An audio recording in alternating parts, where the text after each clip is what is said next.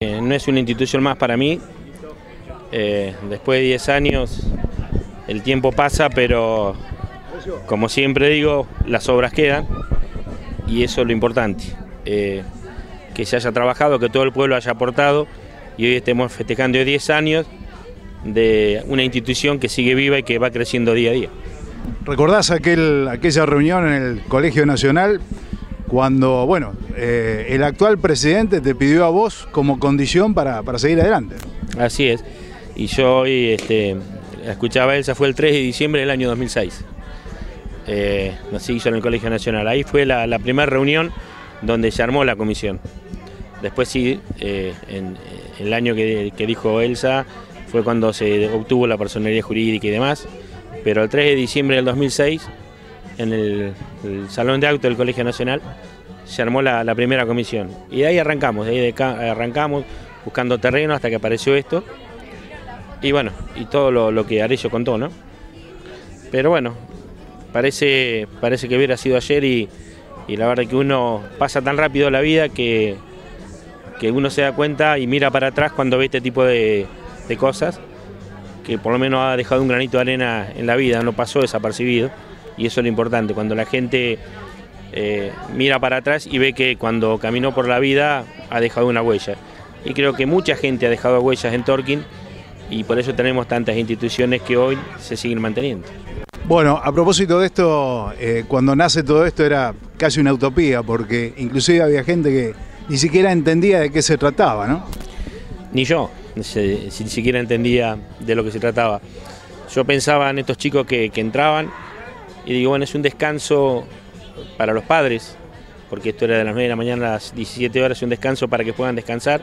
No es fácil lo que le toca a veces a los padres vivir con este tipo de, de situaciones.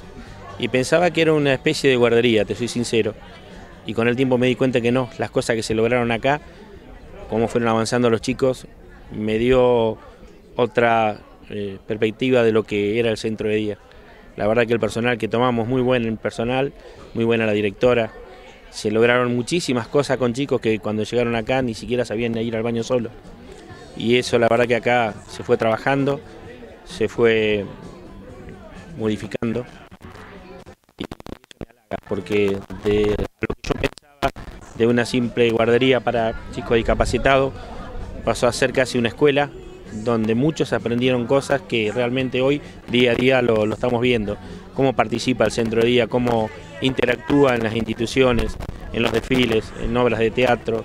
Así que la verdad que eso me llena de satisfacción porque no es poca cosa que, hayamos logrado eso. Y te vuelvo a repetir, no lo logramos nosotros. Lo la gente de Torquía en todas las instituciones donde las cosas se hacen bien, la gente de Torquín sigue colaborando. Más allá de que esté Juan, que esté Pedro, cuando las cosas se ven que se hacen y avanzan, hasta acá están los frutos. Y bueno, eso es lo importante, más allá de quien lo haga. Desde tu sillón de Laines, ahora sí, posicionado como intendente, no como integrante del nacimiento de esta institución, son pocas las comunidades que tienen este tipo de estructura, este tipo de centro de día o este, o este tipo de hogar de noche. Muy pocas y que, estén funcionando como funciona esto, muy pocas, te puedo asegurar. Eh, por eso mismo el Estado tiene que estar presente, porque si no esto tendría que hacerlo el Estado. Yo siempre digo, eh, no existirían instituciones de este tipo si el Estado estuviera presente, pero el Estado como no puede acceder a todo, como no puede acceder a la contención social, como no puede acceder a que los chicos vayan a un deporte, para eso están los clubes, y por eso el Estado tiene que estar presente, dándole ayuda. No es que uno eh, le da ayuda a las instituciones porque uno trabajó en instituciones, porque hay que darle la ayuda, porque sin las instituciones intermedias el Estado solo de por sí no puede hacerlo. Entonces, ¿qué más? Teniendo buenas instituciones que lo hagan, el Estado tiene que estar presente, no hay otra, no hay otra salida.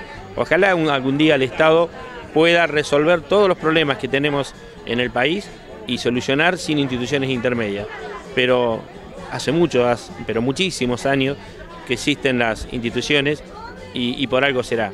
Así que bueno, bienvenido sea que, en Torkins tengamos este tipo de institución que es un ejemplo, ya te digo, no solo para el distrito, sino para toda la zona de influencia.